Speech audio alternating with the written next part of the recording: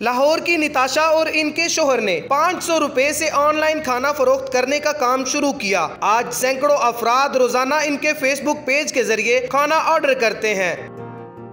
एक तकलीफ़ दे माजी ने इन्हें ये काम करने का हौसला कैसे दिया? लोग कहते थे कि ये लड़की घर नहीं बसा सकती। उर्दू पॉइंट की वीडियोस देखने के लिए हमारा चैनल सब्सक्राइब कीजिए। और बेल के आइकन पर क्लिक कीजिए ताकि आप हमारी तमाम आने वाली वीडियो से बाखबर रह सकें। असलम नाजरीन, आपका मेज़बान जैन बाबू आपकी खिदमत में हाजिर है और आप देख रहे हैं उर्दू पॉइंट। नाजरीन, पाकिस्तान की एक ऐसी बाहिमत खातून के साथ आपकी मुलाकात करवाने के लिए आए हैं, जिनका नाम है नताशा। नताशा ने ऑनलाइन फ़ूड सेलिंग का काम शुरू किया। लॉकडाउन में इनके हस्बैंड की नौकरी गई तो इन्होंने उनको भी साथ लगा लिया। अब लाहौर की बड़ी मार्केट्स में ये खाना बेचकर अच्छा खासा कमा रही हैं। कैसे कमा रही हैं, इन्हीं से जानते हैं।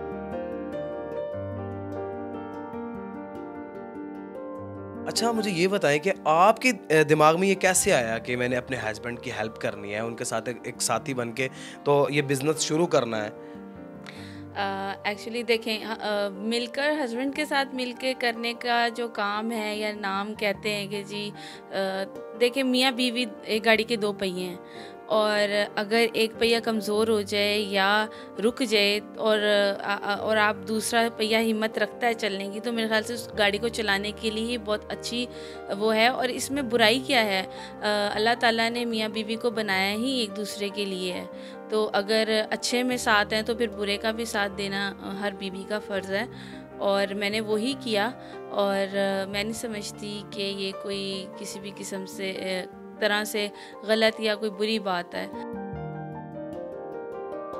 किसने आपकी हेल्प की और फिर कितने पैसों से आपने ये काम शुरू किया और फिर कैसे इसका स्टार्ट लिया आपने? देखें कुछ हालात मेरी इस तरह के बन गए थे घर के कि मैं बहुत ज़्यादा परेशान थी।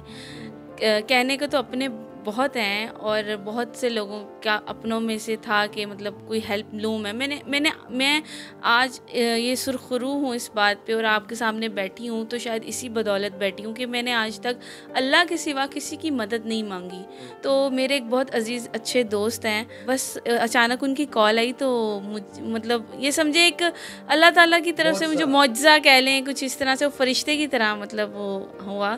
तो मैंने उनको अपनी प्रॉब्लम बताई तो उन्होंने मुझे कोई भी बात बोल बोले मतलब कहे बगैर ना उन्होंने बस मुझे कुछ पैसे सेंड किए।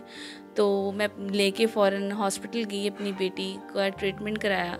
तो आ, समझ नहीं आ रहा था कि स्टार्ट कहाँ से लूँ। बिज़नेस तो मैं कर रही थी ये लेकिन ये मेरा ऑनलाइन बिज़नेस था। ऑनलाइन कैसे सेल करती थी आप? ऑनलाइन मेरा पेज था सोशल मीडिया पर फेसबुक पर।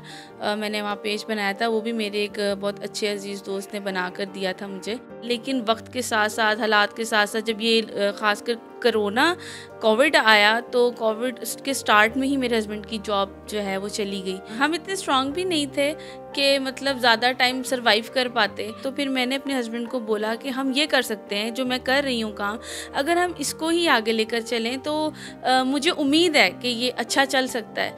अगर मेरे पास ऑन क्योंकि आपको पता है कि online business on and off चलता है। आगे ऑर्डर आ गया नहीं आया तो नहीं आया। तो आ, उस वक्त ज़रूरत मुझे थी। कस्टमर को ज़रूरत तो तब होती है ना जब उसे कुछ चाहिए होता है। तो कुएँ को आ, वो क्या मिसाल देते हैं कि प्यासा कुएँ के पास जाएगा या कुआँ चल के प्यासे के पास आएगा। ऐसा तो नहीं है कुआँ आता मेरे पास चल के तो मुझे प्यास लगी थी तो मैंने सोचा कि मैं ही स्टेप लेती हूँ।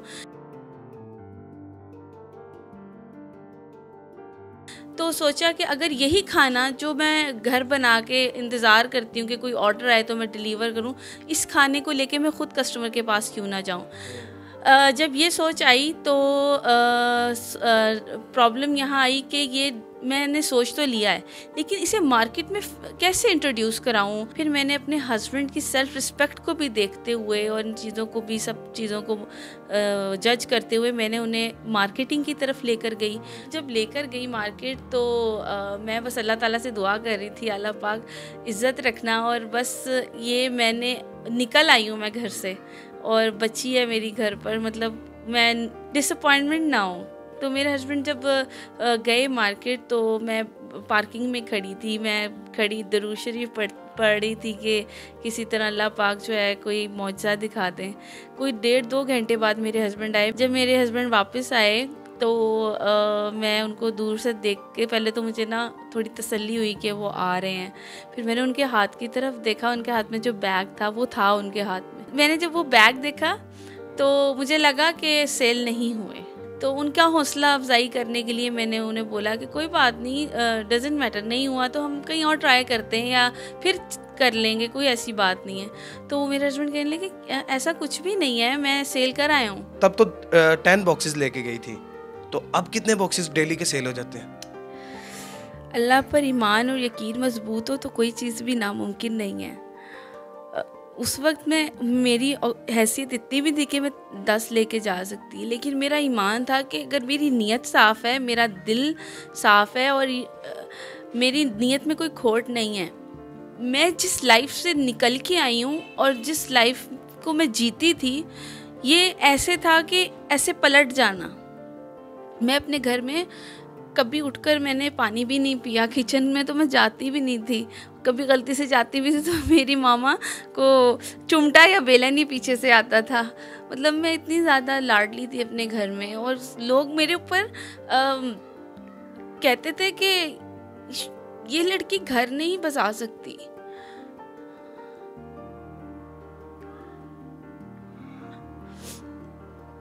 मेरा भाई कोई नहीं था। तो लोग मेरे वालदेन को कहते थे कि तुम लावारिस हो, तुम्हारा कोई वारिस नहीं है।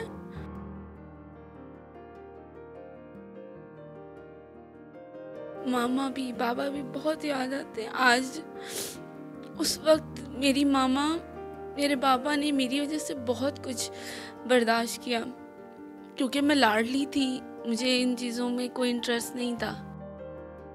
औरत कमज़ोर नहीं है, उसे कमज़ोर नहीं समझना चाहिए। अल्लाह ताला ने औरत के अंदर ये ताकत दी है। एक औरत ही होती है ना जो मर्द को पैदा करती है। एक औरत ही होती है जो अपने घर को लेकर चलती है अपनी नस्लें संवारती है। ये सिर्फ़ करने वाली ज़ात सिर्फ़ अल्लाह की है। मैंने जो सीखी है चीज़ ज़िंदगी से वो ये सीखी है कि वो एक लाइन है। मैं अगर वो आपको बताऊँ जी ज़रूर। मत कहो खुदा से मेरी मुश्किलें बड़ी हैं। इन मुश्किलों से कह दो मेरा खुदा बड़ा है। अब माशाल्लाह कितनी डेली की अर्निंग हो जाती है और कितने बॉक्सेस डेली के मार्केट में जाते हैं? मेरा खाना क्वांटिटी वाइज ज़्यादा होता है और रेट वाइज चीप है। मैं ये तो नहीं कहती कि अच्छा प्रॉफिट नहीं है या मैं कुछ कमा नहीं रही हूँ, गलत बात नहीं करूँगी। ज़ाहिर सी बात है बिज़नेस कर रही हूँ तो ज़ाहिर सी बात प्रॉफिट भी हो रहा है। लेकिन ये है कि अभी अल्लाह का शुक्र है स्टार्ट है अच्छा चल रहा है, अल्हम्दुलिल्लाह। और इन ताला मज़ीद इसको इंक्रीज़ करना चाहती हूँ। मैंने आपको जैसे बताया टेन बॉक्सेस से मैंने स्टार्ट किया था। आज अल्हम्दुलिल्लाह अल्हम्दुलिल्लाह ninety plus ninety five plus मेरे बॉक्सेस हो जाते हैं। अच्छा मुझे ये बताएँ, कुछ लड़कियाँ, कुछ बहनें मतलब कुछ काम करने की बजाय, कुछ अपने एफर्ट करने की बजाय गलत रास्ता इख्तियार कर लेती हैं। उनको क्या मैसेज देना चाहिए?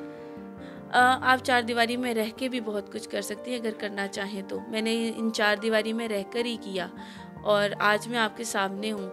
और हिम्मत नहीं हारनी चाहिए, जस्तजू करनी चाहिए और कोशिश करते रहना चाहिए।